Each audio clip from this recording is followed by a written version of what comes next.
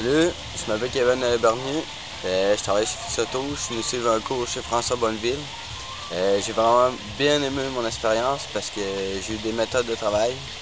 Euh, j'ai appris à polir, j'ai appris à sabler. François, c'est un gars très accueillant qui prend soin de ses clients, qui lui donne une chambre, tout le kit.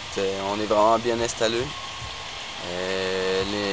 et tout. Euh, qu'est-ce que le fun, c'est que tu as tous euh, les produits, euh, tous les outils pour aller plus vite, pour faire le travail, plein de méthodes de travail nouvelles.